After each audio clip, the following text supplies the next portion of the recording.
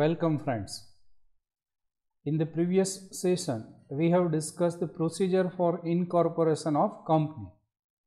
So, in which we have discussed uh, documents required to be submitted for the incorporation and the main documents required for the incorporations are the memorandum of association and articles of association. So, today's our topic for discussion is the memorandum of association. So, what is memorandum means meaning of the memorandums, what is the importance, why the memorandum is required. So, importance of the memorandum and forms for the memorandum of association given in the Companies Act. So, we are starting with the meaning of the memorandum of association. So, the first the memorandum of association is document which defines the scope of company's activities because in memorandum of association we all know that the memorandum of association contains the object clause of the company and from which we can define the scope of company's activities means company કે company છે એ કઈ activities છે શું business transactions છે કરી શકશે define થઈ શકશે શેમાંથી ડિફાઇન થઈ શકશે Memorandum મેમોરેન્ડમમાં શેમાંથી define થઈ શકે તો કે ત્યાં તમને ખ્યાલ હશે કે આપણે એક ઓબ્જેક્ટ ક્લોઝ આવતી હોય છે મેમોરેન્ડમ ઓફ એસોસિએશનમાં તો આ ઓબ્જેક્ટ ક્લોઝ છે એના ઉપરથી આપણે એના સ્કોપ ઓફ એક્ટિવિટીઝ છે ડિફાઇન કરી શકીએ and it's relation with the outside world કારણ કે કંપની છે તો કંપનીનો આપણે કહીએ છીએ કે it is artificial person having the separate legal identity તો બાકીના લોકો છે એ કંપની કયા ઓબ્જેક્ટ માટે બનાવેલી છે કયા એક્ટ કરવાની કંપની પાસે ઓથોરિટી છે અથવા તો ઓથોરિટી નથી તો આ બધી જ વસ્તુઓ છે ડિફાઇન શેના ઉપરથી થઈ શકશે તો all this things all the scope of authorities scope of activities and authorities is defined by the provision of memorandum So the memorandum defines the relation of the company with the outside world and therefore it is regarded as a constitution of the company કંપનીનું જે કંઈ ઘડતર બંધારણ આપણે કહીએ તો આ બંધારણ છે એવું કહી શકાય શું કામ તો કે જ્યાં આપણે કહીએ છીએ કોઈ પણ કન્ટ્રીની વાત કરીએ તો કોઈ પણ કન્ટ્રીમાં એના રૂલ્સ રેગ્યુલેશન્સ કાયદાઓ આપણે સમજવા હોઈએ તો આ બધી જ વસ્તુઓ માટે સૌથી મેઇન જે સોર્સ હોય છે એ શું હોય છે તો કે કોન્સ્ટિટ્યુશન ઓફ કન્ટ્રી તો સેમ વે અહીંયા આપણે કહીએ છીએ કોઈ પણ કંપનીના રૂલ્સ રેગ્યુલેશન્સ એની ઓથોરિટીઝ બરાબર છે કઈ એક્ટિવિટીઝ કરી શકશે શું નહીં કરી શકે તો આ બધી જ વસ્તુઓ માટે થઈને આપણે શું રિક્વાયર્ડ હોય છે તો કે constitution of the company and constitution of the company is the memorandum of company Second, the definition given in the Companies Act, what is memorandum? First of all, we have discussed the general meaning of memorandum. It means the document which defines the scope of activities of the company and which is a constitution of the company. This is the general meaning of the memorandum. But now, what is the definition of memorandum as per the Companies Act 2013? So, Companies Act 2013 defines the memorandum in section 2 subsection 56. The memorandum means the memorandum of association of a company. Jabardist definition. It means the memorandum of association of company. So, if you memorandum word companies act, So obviously, if company na reference, then what is the memorandum of meaning? So, memorandum of the company. Okay હવે memorandum શું હોય છે તો કે already આપણે general મિનિંગમાં જોયું છે memorandum શું છે તો કે એક ડોક્યુમેન્ટ છે શું ડોક્યુમેન્ટ છે તો કે ડોક્યુમેન્ટ કે જે ડિફાઇન કરશે શું ડિફાઇન કરશે તો activities and authorities of the company બરાબર તો એવું જે ડોક્યુમેન્ટ છે તો કંપનીનું આ મેમોરેન્ડમ ઓકે હવે શું હોઈ શકે તો as originally framed as originally framed means registered at the time of incorporation તમારી કંપની ઇનકોર્પોરેટ કરતા હોય ત્યારે તમે જે મેમોરેન્ડમ રજિસ્ટર્ડ કરાવેલું છે હા તો એને કંપનીનું મેમોરેન્ડમ ઓફ એસોસિએશન કહી શકાય ઓકે પણ હવે અમુક વર્ષો પછી બની શકે એવું કે કંપની આ મેમોરેન્ડમમાં અલ્ટરેશન કરવું છે સે ફોર એક્ઝામ્પલ કંપની છે એનો બિઝનેસ ઓબ્જેક્ટ ક્લોઝમાં ચેન્જ કરવો છે અથવા તો આપણે કહીએ કંપની છે એને એનું નેમ ચેન્જ કરવું છે કંપની છે કે જેને એની રજિસ્ટર્ડ ઓફિસ ચેન્જ કરવી છે એક સ્ટેટમાંથી બીજા સ્ટેટમાં ટ્રાન્સફર કરવી છે તો આવા જે કંઈ બી અલ્ટ્રેશન છે આ બધા જ અલ્ટ્રેશન અલ્ટિમેટલી શું ગણાશે તો કે alteration in the memorandum of company તો હવે આ કેસમાં કંપની પાસે બે મેમોરેન્ડમ છે first memorandum is originally framed as originally registered and second memorandum is memorandum altered બરાબર છે કે મેમોરેન્ડમ જેમાં આપણે ફેરફાર કરેલા છે તો આ બેમાંથી કોઈ પણ મેમોરેન્ડમ છે બંનેને કંપનીના જ મેમોરેન્ડમ્સ કહી શકાશે અને આ બંને મેમોરેન્ડમ છે એ કંપની માટે યુઝફુલ બની શકતા હોય છે તો અહીંયા આપણને આપેલું છે કે means a memorandum of association of company as originally framed or as altered from time to time in pursuance of any provision of the company law તો કંપની લોની પ્રોવિઝન પ્રમાણે જે કંઈ ચેન્જીસ પરમિસેબલ છે આ ચેન્જીસ કરેલા હોય તો આ અલ્ટર્ડ મેમોરેન્ડમ છે એને પણ મેમોરેન્ડમ ઓફ એસોસિએશન કહી શકાય so this is the meaning of memorandum general meaning and the meaning definition given as per the companies act Next point of discussion is importance. So, what is the importance of the memorandum? Why memorandum is required? So, for that the importance of the memorandum of association for the different class of people and companies are as under. So, એને આપણે આવી રીતે bifurcate કરી first of all for the shareholders. Okay.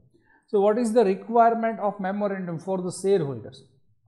Shareholders means the members means the person who have already members of the company person who have already invested in the company તો હવે આ લોકો માટે એવું રિક્વાયરમેન્ટ નથી કે ભાઈ મેમોરેન્ડમ છે મેમોરેન્ડમ વાંચીને તો કે એને કંપનીમાં ઇન્વેસ્ટમેન્ટ કરવું ન કરવું they have already invested in the company but from the provision of the memorandum and provision of the articles they will be able to understand that whether their investment in the company is secure or not. their investment will be safe in the company or it, it is not safe in the company. So, for the shareholders, for the investor of the company, it is very important because shareholders are able to know the various aspect by which the funds raised by the company will be utilized. તો કંપનીમાં જે purpose માટે fund rays થયેલા છે આ જ purpose માટે તમારા ફંડ્સ યુટિલાઇઝ થવાના છે એવી તમને ખબર પડશે હવે જો આ મેમોરેન્ડમ જ નહીં હોય અને કંપની આઈપીઓ લઈને આવશે તો ત્યાં આપણે ઇન્વેસ્ટમેન્ટ કરશું પણ આપણને ખબર નથી કે આપણા રૂપિયા શેના માટે વપરાવાના છે તો એટલા માટે મેમોરેન્ડમ છે કે જે કંપનીના ઓબ્જેક્ટ ક્લોઝમાં ડિફાઇન કરશે કે ભાઈ પબ્લિક પાસેથી શેરહોલ્ડર પાસેથી આપણે જે કંઈ બી ઇન્વેસ્ટમેન્ટ રેઇઝ કરીએ છીએ આ ઇન્વેસ્ટમેન્ટ છે આપણે એને યુટિલાઇઝ કઈ જગ્યા ઉપર કરશું second for the general public general public means person who are not the member in the company તો જનરલ કંપની જનરલ પબ્લિક છે અને આ જનરલ પબ્લિક છે તો એને કોઈ લિસ્ટેડ કંપની છે પબ્લિક લિસ્ટેડ કંપની છે એમાં ઇન્વેસ્ટમેન્ટ કરવું હોય જો ફર્સ્ટ પોઈન્ટમાં આપણે કે જે શેર હોલ્ડર્સ છે જેણે ઇન્વેસ્ટમેન્ટ કરી દીધું છે તો ઓબ્વિયસલી લોકોને ખ્યાલ છે કે ભાઈ શેમાં એનો ફંડ્સ છે યુટિલાઇઝ થવાના છે સેકન્ડ કે આ જ કંપનીમાં ઇન્વેસ્ટમેન્ટ છે એને કન્ટિન્યુ કરવું કે આ ઇન્વેસ્ટમેન્ટ છે એને વિડ્રો કરી લેવું by selling the shares of company તો આ શેર હોલ્ડર્સ છે જે ઓલરેડી મેમ્બર્સ છે એના માટેની વાત કરી હવે આપણને આપેલું છે for the general public means person who are not the share holders or not the member of company તો હવે એવા લોકો માટે મેમોરેન્ડમ છે એનો શું ઉપયોગ છે તો મે બી આવી કંપનીમાં કોઈ વ્યક્તિને ઇન્વેસ્ટમેન્ટ કરવું હશે આ કંપનીના શેર્સ પરચેસ કરવા હોય તો સે ફોર એક્ઝામ્પલ અત્યારે તો આપણે રિલાયન્સની વાત કરીએ તો રિલાયન્સ ઇન્ડસ્ટ્રીઝ છે જે માર્કેટમાં અત્યારે જબરજસ્ત પરફોર્મન્સ છે એનું તો નોર્મલ કેસમાં લોકો ઇન્વેસ્ટમેન્ટ કરતા હોય છે તો કે માર્કેટમાં જે ટ્રેન્ડ ચાલતો એના પ્રમાણે ઇન્વેસ્ટમેન્ટ કરતા હોય છે પણ જે વેલ્યુ ઇન્વેસ્ટમેન્ટની વાત કરીએ તો એવા કેસમાં તમારે શું કરવાનું હોય છે you have to check the fundamentals of the company for value investment અને એવા કેસમાં ફંડામેન્ટલમાંથી તમે કંપની છે તો કંપનીના મેમોરેન્ડમમાંથી એનો ઓબ્જેક્ટ એના એક્સપાન્સન એની શું બિઝનેસ એક્ટિવિટીઝ હોઈ શકે તો આ બધું જ રિફર કરી અને ફાઇનલી તમે તમારું ઇન્વેસ્ટમેન્ટ ડિસિઝન છે એ તમે કરી શકો બરાબર So, by referring the memorandum of association, the general public become aware about the nature, scope and type of business. Based on such study, they are able to take the decision regarding the purchase of share means they can take the decision whether to invest in the company or not. શેરહોલ્ડરે investment કરી દીધું છે તો એના માટે purpose શું હતો કે એના ફંડ્સ ક્યાં યુટિલાઇઝ કરવાના હવે જનરલ પબ્લિક માટે પર્પઝ આનું ઇમ્પોર્ટન્સ છે શું utilisation of memorandum. કે એ લોકો ડિસિઝન લઈ શકશે whether to invest in the company or not so this is the benefit for the general public of memorandum of association next class given for importance of the memorandum memorandum for for the company itself okay કંપનીના પોતાના માટે જ મેમોરેન્ડમનું શું utilization હોય શું importance હોય કારણ કે કંપનીને પોતાની સાથે તો કોન્ટ્રાક્ટ કરવાનાથી પોતામાં કંપનીએ પોતે પોતે તો ઇન્વેસ્ટમેન્ટ નથી કરવાની ઓકે પણ અહીંયા આપણે કહીએ છીએ company is an artificial person and which is manage by the board of directors તો કંપનીનો જે કંઈ બી વહીવટ છે કોણ કરશે બોર્ડ ઓફ ડાયરેક્ટર્સ છે એનું મેનેજમેન્ટ કરશે તો આ કેસમાં whether the management or affairs of the companies are as per the provision of the memorandum and articles of the company are the board of director is acting as per the provisions of the memorandum as per the object of the memorandum તો કંપનીનું management છે તો કે કંપનીના object પ્રમાણે થાય છે કે નથી થતું એવું કંપનીને ખબર પડશે જો નથી થતું તો એવા કેસમાં કંપનીના શેર હોલ્ડર્સ છે એ આ મેમોરેન્ડમ પ્રમાણે બોર્ડ ઓફ ડાયરેક્ટર્સ પાસેથી વર્ક લઈ શકે હવે ઘણીવાર એવું બનશે કે બોર્ડ ઓફ ડાયરેક્ટર્સમાં ચેન્જીસ થતો હોય જેવું આપણે જોયું હતું કે રિટાયરમેન્ટ બાય રોટેશન તો બોર્ડ ઓફ ડાયરેક્ટર્સમાં અમુક પર્સન્ટેજ છે કે જે લોકો રિટાયર્ડ થશે એની જગ્યાએ નવા ડાયરેક્ટર્સ આવશે તો નવા ડાયરેક્ટર્સને જે કંઈ બી ડિટેલ્સ જોતી હોય તો ડિટેલ્સ એને શેમાંથી મળશે તો કે મેમોરેન્ડમમાંથી So the scope and objective of the company are defined in the memorandum and the directors of the company changes. But the direction of the company remains the same. Directors means that je direction deva wada che, e loko badlai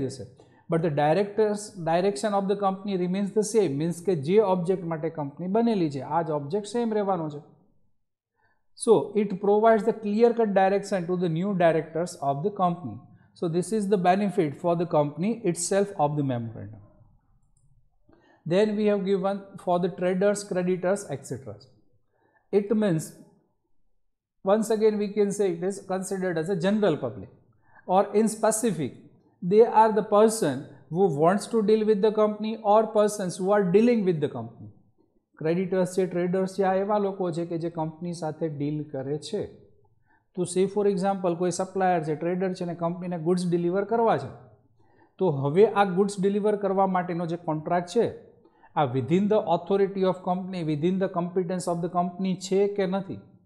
એવું એને check કરવું હોય તો એ કઈ જગ્યાએથી check કરી શકશે તો કે from the provision of memorandum of association મેમોરેન્ડમમાં ચેક કરી શકે બરાબર તો સે ફોર એક્ઝામ્પલ અહીંયા આપણે કહીએ છીએ કે માનો કે રિલાયન્સ જીઓ ઇન્ફોકોમ લિમિટેડ કંપની છે તો ઓબ્વિયસલી એના નામ ઉપરથી ખબર પડે છે કે ઇન્ફોકોમ કંપની છે તો ટેલિકોમ સેક્ટરમાં ઇન્ફોર્મેશન કમ્યુનિકેશનના સેક્ટરમાં વર્ક કરે છે હવે આ કંપનીમાં કોઈ ટ્રેડર છે કે જે કેમિકલ્સમાં ડીલ કરે છે અને એને કોઈ કેમિકલ્સ છે એ સપ્લાય કરતો હોય તો હવે એને ખબર તો હોવી જોઈએ ને કે ભાઈ કેમિકલ્સમાં કોન્ટ્રાક્ટ કરવા માટે રિલાયન્સ જીઓ છે એ કોમ્પિટન્ટ મીન્સ કે એને ઓથોરિટી છે કે નથી કારણ કે અહીંયા તમને ખ્યાલ હશે એક word ultra vires act means act beyond the authority અને જો કંપનીને આ એક્ટ કરવાની ઓથોરિટી નહીં હોય તો આ અલ્ટ્રાવાર્સ એક્ટ જે શું બનતા હોય છે void and in that case creditor or trader will lose his money. So, in that case, tra creditor, trader, suppliers can take the decision whether to deal with the company or not after having the knowledge of provision of memorandum. તો memorandum વાંચી એના object છે decide કરી અને finally decision લઈ શકશે તો ત્યાં પણ આપેલું છે by referring the memorandum of association trader merchant underwriters come to know about the rights duties liabilities etceteras of the company તો એના ઉપરથી પોતાનું ડિસિઝન ફાઇનલ કરી શકશે so that's why the constitution of the company or we can say memorandum of the company is very important and very vital document for the incorporation or company and it is it remains important up to the existence of the company jya sudhi company rehvani chhe tya sudhi aa documents che bahut important hoy chhe next forms of the memorandum of association so companies act 2013 provide the various forms for the various types of company તો આ બધા forms છે એમના ઉપરથી તમે તમારું memorandum છે બનાવી શકતા હોવ છો બરાબર તો એના માટે આપણને આપેલું છે the form specified in the table A B C D or E of the schedule one to the act તો કંપનીઝ એક્ટ ટુ થાઉઝન્ડ થર્ટીનના શેડ્યુલ વનમાં આપણને ફોર્મ્સ આપેલા છે અને આ જે ફોર્મ્સ છે શેના માટે છે for the memorandum of company તો આ ફોર્મેટમાં કંપનીનું મેમોરેન્ડમ છે એ હોવું જોઈએ as may be applicable in relation to the type of company તો અલગ અલગ ટાઈપની કંપનીઓ છે એના માટે અલગ અલગ આપણને ફોર્મ્સ આપેલા છે તો first the form in table A for the companies limited by shares. So, we have discussed the types of company, company limited by shares. તો લિમિટેડ બાય શેર્સ છે તો ઓબ્વિયસલી એમાં શેર કેપિટલ તો હોવાની છે તો જે કંપની લિમિટેડ બાય શેર્સ છે એના માટે ફોર્મ એપ્લિકેબલ બનશે એ શું છે તો કે Form in the table A is for the companies limited by shares. Second, the form in the table B. તો ટેબલ બીનું ફોર્મેટ તમારે યુટિલાઇઝ કરવું kya re? if your type of company is the company limited by guarantee not having the share capital. If the company is limited by guarantee, it may have share capital or it may not have share capital. So, if the company limited by guarantee and company not having any share capital, then the format of the memorandum will be the table B. Next, the company limited by guarantee but having the share capital. So, for such type of company, the form given in the table C is applicable for the memorandum. So, memorandum of the company limited by guarantee and having the share capital will be in the table C. Then they have given the form in the table D. So, table D is applicable for the unlimited company. Once again unlimited company may have share capital or may not have share capital. So, in case of company unlimited company not having the share capital memorandum of such company shall be in the form number D. And the last form prescribed is the table E which is applicable for the unlimited company having the share capital. So, these are the formats given for the memorandum of association in the Companies Act. So, table A for the company limited by C, table B for the company limited by guarantee but not having share capital, table C for the company limited by guarantee and having share capital, table D is unlimited company not having the share capital and the last table E is for the unlimited company having the share capital. So, these are the forms of memorandum of association. So, in this session we have discussed the meaning, importance and the various forms of the memorandum. In the upcoming session we will discuss the various clauses or various content of the memorandum of association. So, for this session Thank you.